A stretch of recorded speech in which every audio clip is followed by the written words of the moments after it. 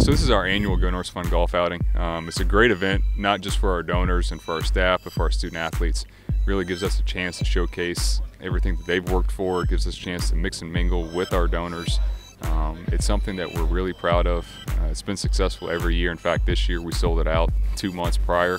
It's the third straight sellout we've had, and just the turnout and community support from Northern Kentucky and the greater Cincinnati region for this event's been phenomenal. Well, first of all, it's unbelievable weather. Just he dialed it up, and the man upstairs said, "Hey, guys are going to go at it today." So now we um, we've had a partnership with NKU now for three years, and uh, going with the sports medicine and the athletic training. So we just appreciate being part of that and being every doing everything we can for the community and uh, appreciate the sponsorship that we have. That's wonderful. It's actually uh, beautiful weather. We were here last year, had a good time, but the chance to be able to uh, you know support the kids, support the school, uh, and have a good time doing it. I mean, uh, a lot of good people here. It's exciting. That this year's uh, you know bigger than last, so we're just eager to get out there, have some fun, and raise some money for the school. People donate to the sports programs and never have the opportunity to get in face-to-face contact with who they're supporting.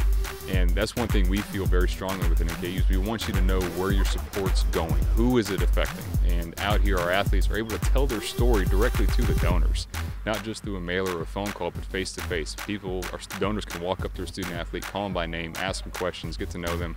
That way when they go see them play or they see the score on the paper, there's a connection there, and that's something you can't recreate. Uh, it's great, you know, seeing them on the court all season long and being able to come out and actually spend some time with them and putting uh, names to faces and be able to shake some hands. It's, it's wonderful. It's a joy. The whole staff, the athletes, see them out here helping out, uh, and just you know they're having fun too. I can tell. I was chatting with the one that uh, brought me up on the golf cart, and uh, they're getting a kick out of uh, helping out and uh, seeing what's going on for the school here. So it's a good time.